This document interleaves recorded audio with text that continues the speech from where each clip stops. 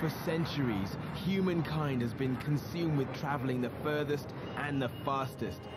Man has traveled over 55 million kilometers away from the planet.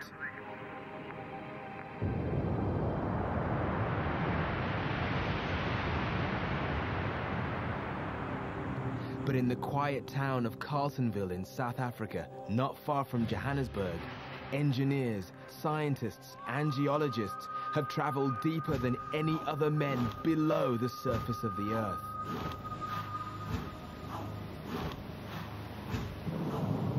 This cement tower houses the entrance to the deepest working mine on the planet, a complex megastructure where the Earth is the enemy and gold is the prize.